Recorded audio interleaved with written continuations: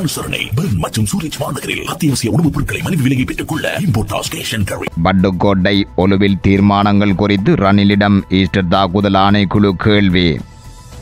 பட்டுக்கோட்டை தீர்மானம் மற்றும் ஒலுவில் தீர்மானம் குறித்து உயிர்த்த ஞாயிறு தாக்குதல் தொடர்பில் விசாரணை செய்யும் ஜனாதிபதி ஆணைக்குழு முன்னாள் பிரதமர் ரணில் விக்ரமசிங்கவிடம் வினவியுள்ளது.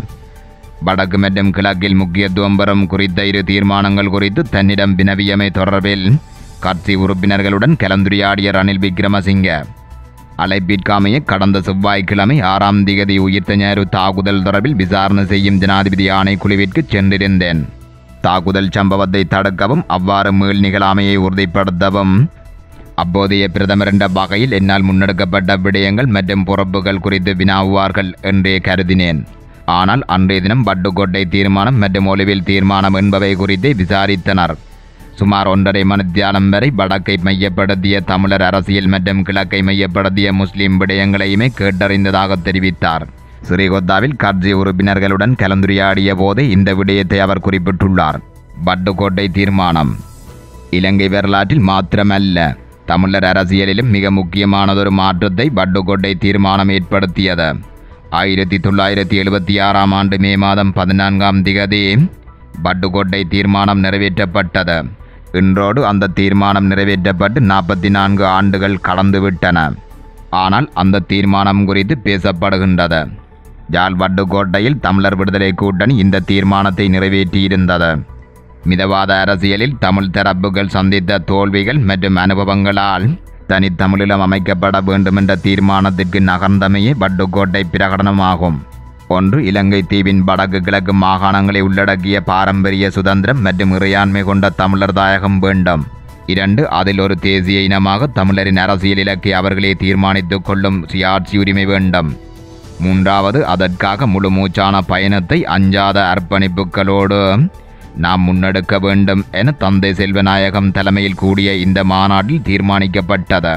ஒரு தேசிய இனத்தை பாதுகாக்கும் பொருட்டு தமிழீழ அரசை மீளளித்தல் மற்றும் மீள உருவாக்குதல் என்ற காரணத்தையே இந்த தீர்மானம் கொண்டிருந்தது ஆயிரத்தி தொள்ளாயிரத்தி நாற்பத்தி எட்டில் இலங்கை சுதந்திரமடைந்த பின்னர் தமிழர்களின் உரிமைகள் மறுக்கப்பட்ட நிலையில் அதற்காக முப்பத்தெட்டு ஆண்டுகள் இலங்கை அரசுகளுடன் பேச்சுவார்த்தைகளும் போராட்டங்களும் இடம்பெற்ற நிலையில் கொண்டுவரப்பட்ட வட்டுக்கோட்டை தீர்மானம் தமிழர் விடுதலை போராட்டத்தில் வரலாற்று முக்கியத்துவம் வாய்ந்ததாகும் இதுவே ஆயுத போராட்டத்திற்கும் அடித்தளமிட்டது ஒலுவில் தீர்மானம் தென்கிழக்கு பல்கலைக்கழக மாணவர் சமூகத்தின் அனுசரணையுடன் இருபத்தி ஒன்பது ஒன்று இரண்டாயிரத்தி மூன்று அன்று ஒலுவில் பல்கலைக்கழக வளாகத்தில் இடம்பெற்ற முஸ்லிம் தேசிய எழுச்சியின் போது வெளியிடப்பட்ட மக்கள் பிரகடனமே ஒலுவில் தீர்மானமாகும். இதன்போது முன்வைக்கப்பட்ட உடன்படிக்கை கோரிக்கைகளில் ஒன்று சமஷ்டி முறை தீர்வில் முஸ்லிம்களின் சுயாட்சி பிரகடனப்படுத்தப்பட வேண்டும். இரண்டாவது வடகிழக்கு அபிவிருத்தி புனர்வாழ்வு மீள்குடியேற்றத்துக்கென வெளிநாடுகளிலிருந்து பெறப்படும் நிதி நியாயமான முறையில் முஸ்லிம்களுக்கு பகிர்ந்தளிக்கப்பட வேண்டும். மூன்றாவது பிளவுபட்டிருக்கும் முஸ்லிம் அரசியல் தலைமைத்துவங்கள் முஸ்லிம் சமூக நலனை மட்டும் கருத்தில் கொண்டு ஒன்று சேர வேண்டும். நான்காவது வடக்கு கிழக்கு முஸ்லிம்களின் அபிலாசைகளை சம அந்தஸ்துடன் தனித்தரப்பாக வெளிப்படுத்துவதற்கு சமாதான பேச்சுவார்த்தையின் ஒவ்வொரு கட்டத்திலும் இடமளிக்கப்பட வேண்டும். ஐந்து இறுதி தீர்வு வடக்கு கிழக்கு முஸ்லிம்களின் சம்மதத்துடனேயே எழுதப்பட வேண்டும். ஆறு வடக்கு கிழக்கிற்கு வெளியே தென்னிலங்கையில் சிதறி வாழும் எமது சகோதர முஸ்லிம் மக்களது சமூக பொருளாதார அரசியல் கலாச்சார உரிமைகள் நியாயமான முறையில் உறுதிப்படுத்தப்பட வேண்டும். அதற்காக குரல் எழுப்புவதும் போராடுவதும் எமது கடப்பாடாகும். இந்த இரு தீர்மானங்களுமே வடக்கு மற்றும் கிழக்கை பிரதித்துவம் செய்யும் இரு சமூகத்தின் எதிர்கால அரசியல் மற்றும் பொருளாதார உள்ளிட்ட விடயங்களை மையப்படுத்திய சுயாட்சி முறைமையை வலியுறுத்துகின்றது. அதாவது சமஸ்தி ஆட்சி முறையில் தம்மை தாமே ஆளும் அதிகாரங்கள் உறுதிப்படுத்தப்பட வேண்டும் என்ற வலுவான கோரிக்கையினையே ஆயிரத்தி தொள்ளாயிரத்தி எழுபத்தி ஆறாம் ஆண்டு வடக்கிலும் இரண்டாயிரத்தி மூன்றாம் ஆண்டு கிழக்கிலும் இரு முக்கிய சமூகத்தினரால் முன்வைக்கப்பட்டன. இது மீண்டும் தென்னிலங்கை அரசியலில் பேசுபொருளாகியுள்ளது. நடைமுறை அரசியலில் காணப்படுகின்ற பல்வேறு திருத்தங்கள் எந்த ஒரு வகையிலும் சிறுபான்மையின மக்களின் அரசியல் உரிமைகளை உறுதிப்படுத்துவதாக இருந்திருக்கவில்லை. மாறாக ஆளும் கட்சிகளின் சுய அரசியல் அதிகாரத்தை பாதுகாக்கும் வகையிலேயே அமைந்தது.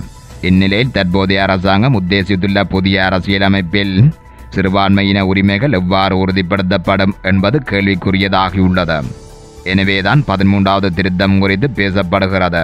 ஏனெனில் வட்டுக்கோட்டை மற்றும் ஒளிவில் தீர்மானங்களின் அடிப்படையில் ஓரளவேனும் ஏற்றுக்கொள்ளக்கூடிய மாகாண ஆட்சி முறை பதிமூன்றாவது திருத்த சட்டத்தினூடாக அரசியலமைப்பில் உள்ளடக்கப்பட்டுள்ளது. அந்த ஏற்பாடானது புதிய அரசியலமைப்பில் கேள்விக்குறியாக்கப்பட்டால் சிறுபான்மை மக்களின் உரிமைகள் ஜாப்பு ரீதியாகவே புறக்கணிக்கப்பட்டதாகிவிடும். அவ்வாறானதொரு நிலைமை மீண்டும் ஏற்பட்டுவிடக்கூடாது.